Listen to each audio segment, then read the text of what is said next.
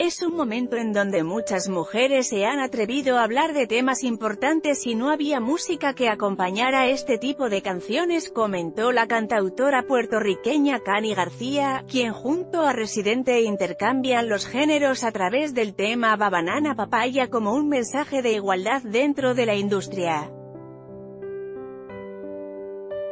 A menos de un mes de su lanzamiento, la melodía ya rebasó los 7 millones de reproducciones en las plataformas digitales, lo que habla de una mayor conciencia en la sociedad, en relación con los roles definidos para hombres y mujeres, en donde cada uno debe de jugar su papel para encajar.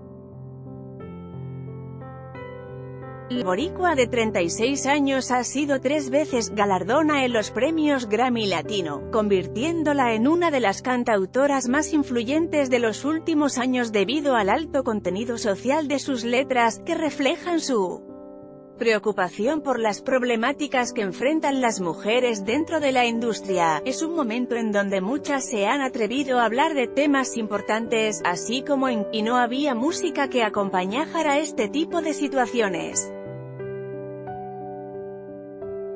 Yo creo que para mí como cantautora puedo abarcar eso.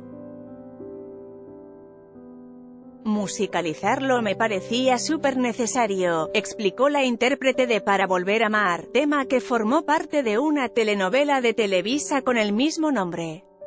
Entérate, Valentín Elizalde y Gerardo Ortiz vinculados en juicio de El Chapo. Guzmán la cantante aseguró que parte de hacer Van a Papaya, de la mano de un intérprete como René, de Residente, sería la oportunidad perfecta para que el mensaje tuviera aún más contundencia y mayor alcance, pues serían dos artistas con diferentes públicos que se unen para hablar de lo que aún no se habla en la música. Llame a Residente porque necesitaba hacerlo de la mano de un hombre distinto.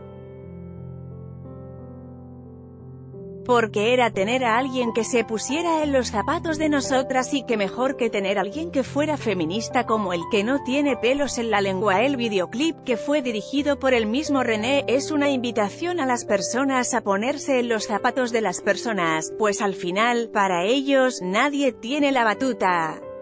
La banana y la papaya son lo mismo, son frutas.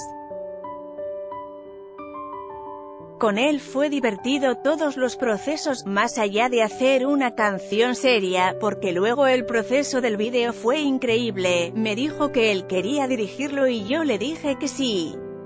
Trabajamos con gente increíble como Ana de la Reguera, Tenot, Huerta, Harold Torres, Erendira Ibarra, Cristian Vázquez, todo fue muy divertido y parecía más un circo que realmente una grabación. Luego de su nominación en la ceremonia pasada de los premios Grammy Latinos, la cantante aseguró que en la actualidad se vive un momento sorprendente para las Mujeres cantautoras, que con su trabajo y talento demuestran que sí se está logrando una igualdad en la industria. Las mujeres cuando gana una, ganamos todas porque es toda una lucha tan grande, lograr espacios en la radio, lograr premios de la academia, lograr que se nos escuche y cuando alguna gana, somos todas ganadoras, comentó.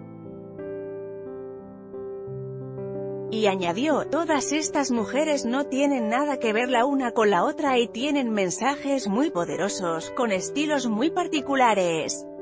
Punto. Eso es algo que hace sentir muy orgullosa y quizá ahora están saliendo más cantautoras, pero lo que están diciendo es importante para todos y hay que escucharlas.